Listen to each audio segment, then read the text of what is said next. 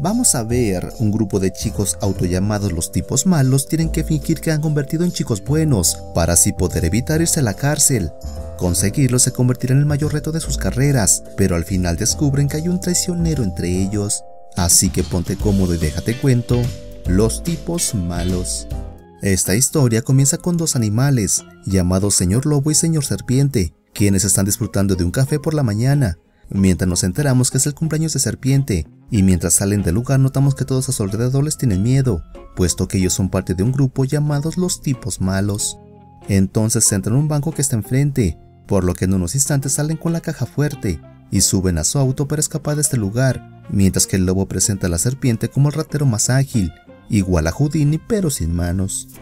Luego presentan a otra compañera llamada Tarántula, la cual es la hacker del equipo. También presenta a otros de ellos llamado Tiburón, quien es el maestro del disfraz y su mayor atraco fue el robo a la Mona Lisa, puesto que éste se hizo pasar por esta misma. Luego vemos que le festejan el cumpleaños a Serpiente y son perseguidos por la policía al mismo tiempo. Por otro lado presentan al último de ellos llamado Piraña, quien es el de más carácter y es bueno como peleador, puesto que este no le tiene miedo a nada, aunque también notamos que una de sus habilidades es tirarse gases cuando miente y está nervioso.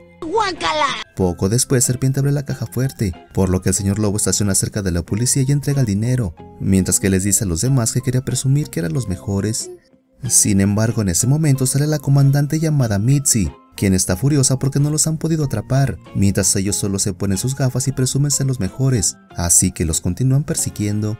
Después la comandante Mitzi casi los atrapa, pero le ofrecen pastel para que se tranquilice mientras casi choca con un camión, por lo que los tipos malos se las arreglan para realizar unas cuantas maniobras y logran deshacerse del grupo de patrullas, mientras ellos escapan velozmente entre las calles. Luego el señor Lobo dice que son los tipos más malos, pero que son buenos haciendo eso y se alejan del auto, mientras que la comandante Mitzi tiene un ataque de berrinche, puesto que se ha dado cuenta que se le han escapado de nuevo. Más tarde regresan a su guarida, donde notamos todas las cosas que han acumulado. Entonces le continúan festejando el cumpleaños de serpiente, por lo que brindan y sacan algunas fotos. Lobo enciende la televisión para ver qué dicen los noticieros de ellos, por lo que una reportera comenta que los tipos malos lo han hecho de nuevo, y que son los más diabólicos que la ciudad haya tenido. Mientras los chicos están emocionados al escuchar esto, entonces presentan a la nueva alcaldesa llamada Sorrento, quien dice que los tipos malos no son más que un grupo de charlatanes, puesto que solo saben robar los mismos lugares de siempre y no son tan malvados como todo mundo piensa. Aún así les asegura que pronto los atrapará.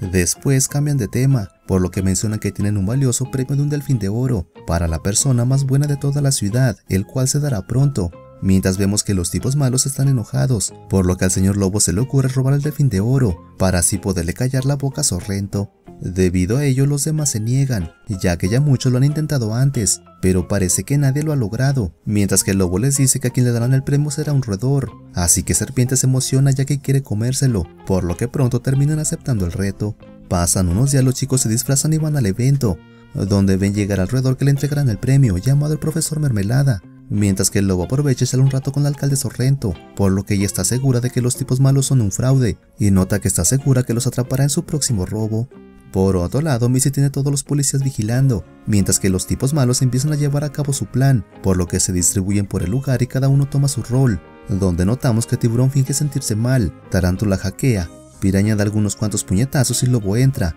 el cual rápidamente está justo frente al premio. Entonces Lobo con ayuda de sus compañeros pasa los últimos sensores infrarrojos de seguridad, mientras Sorrento está a punto de dar el premio, por lo que se apresuran y lo logran, mientras que todos están impactados porque desapareció el delfín de oro. Entonces el profesor Mermelada les dice a todos que no importa, ya que el ser bueno no necesita un premio, puesto que se siente bien menear la cola cuando te sientes genial, por lo que el lobo lo hace sin querer y los terminan descubriendo, así que la policía va tras ellos, los acorralan y pronto los atrapan. Luego Lobo antes de que los suban a la patrulla usa su habilidad de convencedor, por lo que les dice que acepta que deben ser castigados, pero que lo han hecho porque no les han dado la oportunidad de ser otra cosa, Así que Mermelada le pide permiso a Sorrento para hacer un experimento con ellos y tratar de que estos se vuelvan buenos, por lo que ella acepta a pesar de que desconfía de ellos. En la patrulla Lobo le dice a los demás que fingirán ser buenos, para después escaparse con el delfín de oro, y por último así poder volver a ser tipos malos como siempre. Más tarde Mermelada trata de enseñarle muchas cosas buenas que pueden hacer,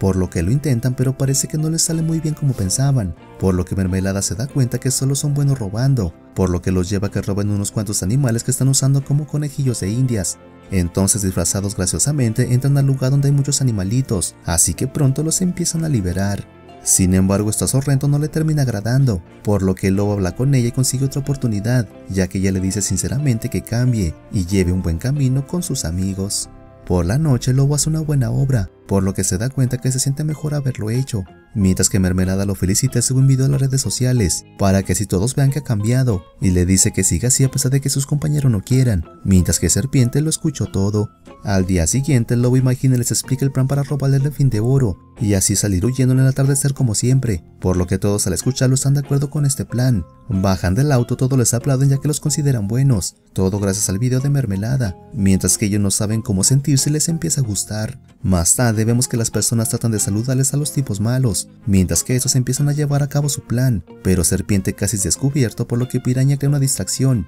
al mismo tiempo que lobo no se resiste saca a bailar a Sorrento, mientras nota que todos les aplauden por lo que se siente de lo mejor. Entonces el lobo está por dar la última indicación, pero se arrepiente ya que le gusta ser bueno, mientras que los otros chicos están decepcionados de él. Pero en ese momento se apagan las luces y se roban el meteorito único que estaba en el lugar, así que rápidamente le echan la culpa a los tipos malos, los persiguen y pronto los atrapan. Mientras que Mermelada pide unos minutos con ellos a solas, por lo que los tipos malos se enteran que el roedor es el malvado, y él fue el que robó el meteorito y los usó para inculparlos. Después los llevan a una cárcel de máxima seguridad, donde empiezan a pelear por lo ocurrido, pero llegan en disfrazado de negro y se deshace de los policías, para luego revelarles que es Sorrento, quien lo ha descubierto todo y sabe que ellos no fueron. Entonces descubren que en realidad es la famosa ladrona llamada la Garra Escarlata. Lo sé amigos, es una versión de Scarlet como la Vida Negra en Los Vengadores, pero bueno, continuemos con la historia. Luego ella lo saca de la casa para que le ayuden a detener a Mermelada, pero parece que los chicos ya no quieren trabajar con el lobo, así que los tipos malos se terminan separando. Al mismo tiempo Mermelada usa el meteorito para hacer el mal en la ciudad, por lo que pronto controla todos los alrededores de la zona. Más tarde Escarlata les muestra su cuartel al lobo, se preparan y van el villano, mientras que por otro lado la mayoría de los chicos malos están empezando a sentirse como buenos, pero parece que Serpiente es el único que se resiste. Al mismo tiempo, los redores controlados están robando los camiones que tienen mucho dinero, mientras que Escarlata y el lobo entran a la casa de mermelada, pero lo malo es que cayeron en una trampa y los atrapan. Entonces se dan cuenta que Serpiente ahora trabaja con el villano, quienes están a punto de acabarlos, pero en ese momento llegan los otros chicos, así que pronto los salvan, por lo que les roban el meteorito a los villanos y regresan los camiones de dinero. Entonces tratan de convencer a Serpiente que vuelva con ellos, mientras que Mermelada trae más oleadas de roedores, los cuales van contra ellos, al mismo tiempo intercambian el meteorito por serpiente, pero este último lo deja caer desde lo alto, así que los chicos malos van tras él, por lo que notamos que hacen las paces mientras que van cayendo. Sin embargo, logran salvarse, así que honestamente se terminan entregando, ya que han cometido muchas cosas malas y ahora quieren hacer lo correcto, mientras todos descubren que Mermelada es un villano también. Si el video te gustó, aquí te dejo algunas recomendaciones más, como la serie que sacaron de los tipos malos, muy recomendada por cierto. Que tengan un excelente día.